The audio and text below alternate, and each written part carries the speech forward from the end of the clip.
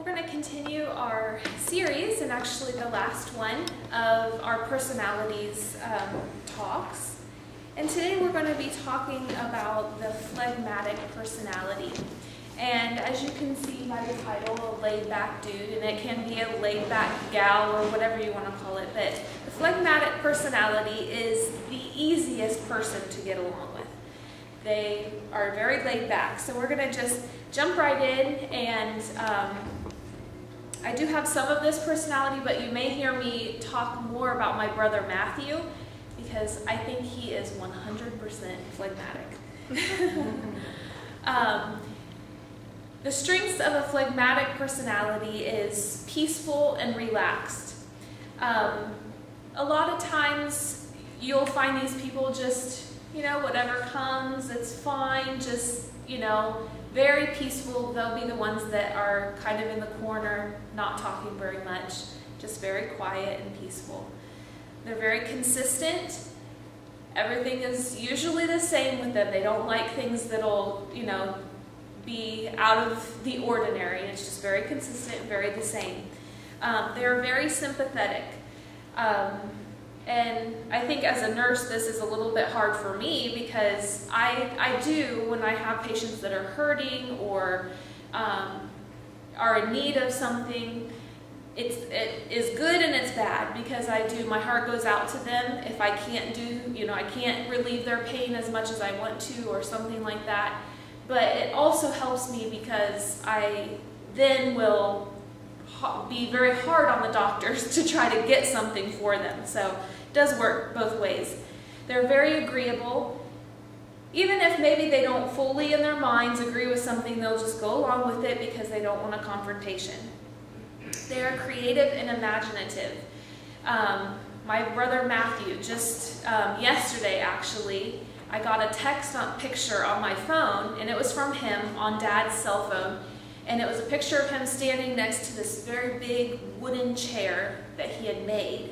And he, Matthew is incredible with wooden tools. And his mind, I mean, he just kind of thinks them up in his mind, then he'll search on the internet for a pattern, and he builds really beautiful things. Um, observant. The, that kind of goes along with being sympathetic. They will they may not look like they're even paying attention, but they'll notice if you're happy, if you're sad, or anything like that. They're very observant of people and of situations.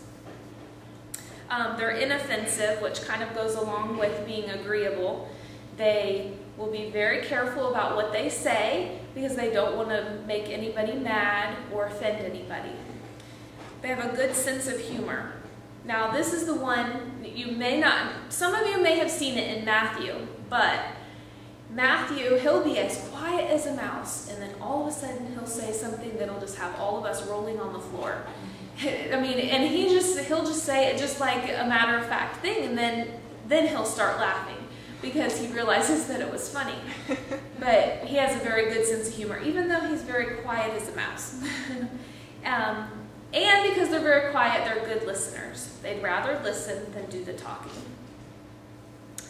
Some weaknesses are that they are shy. Um, they don't like to get up front very much. And they don't really like to talk, open up or talk to people that they don't really know. Um, and that they are, they are quiet, goes along with being shy. But they are quiet even around people that they know, but they can get into conversation as long as you engage them.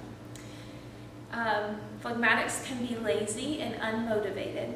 And this is something that I struggle with. If I might have a list of things to do, but you know, some days I'm just like, I just don't feel like doing that. And I, you know, I know that I need to get it done and all of that, but that is something that I just have to say, okay, I gotta motivate myself, I gotta get this done. So that's that's something that phlegmatic struggle with.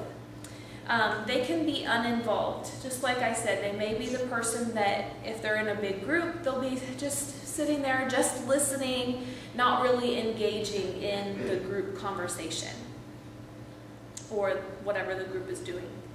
Um, they can discourage others. Being unmotivated or lazy or quiet, if there's something that is going to happen that might be fun or take a lot of work, they might be like, oh, you know, let's not do that right now. Um, let's do something, you know, more fun or that doesn't take as much work. Um, they also resist change. I don't like change. I like to remain the same all the time.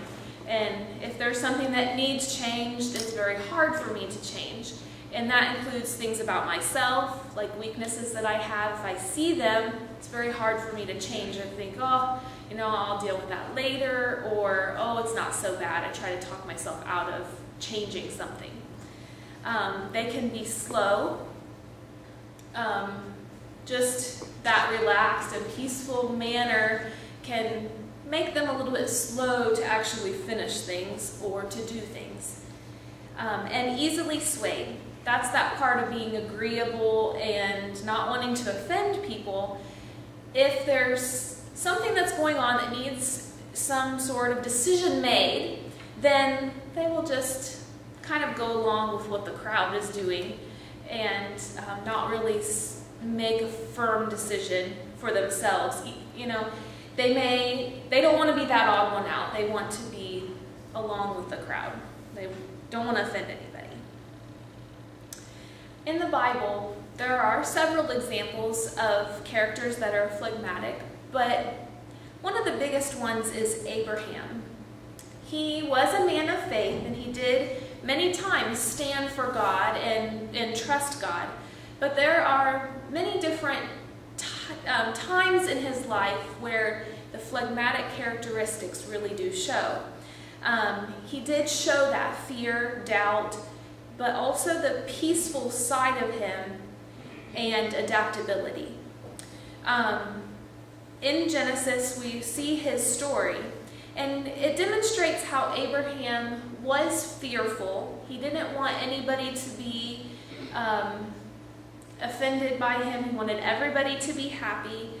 And so there were times like when God told him that he was going to have a son, and it was taking a little bit longer. And his wife was wanting a child, and his wife told him to take her servant. And so he went along with that. Even though in his mind he was thinking this isn't right, he went along to make her happy, to fulfill his desire to be a father, and of course that didn't turn out so well. But that was more the easy route at first that he thought. Of course it didn't end up that it was easy, but that was his thought in, in doing that. It was going to be the easy way out. Um, he felt that God had forgotten him. So he was kind of like just a little bit depressed in the way that he, he was longing for God to answer the prayer, the promise that he had given him, but yet he had to take matters into his own hands because it was not quick enough for his comfort. Um, Abraham was a father of, great, of a great nation, and he had a peaceful side of him when he was dealing with his family. We see that the story of him with Lot and the time where there was strife amongst the, their two camps, his camp and Lot's camp. And he decided that it would be best to avoid all of that conflict for them to separate. And being older in that time, the older one should have chosen, you know, what land he was going to take and say, Lot, that's yours. But he was very diplomatic. He didn't want to cause any strife. So therefore he said, Lot, what area do you want? And Lot chose. There was no strife, and they went their own ways. He was a very unselfish person.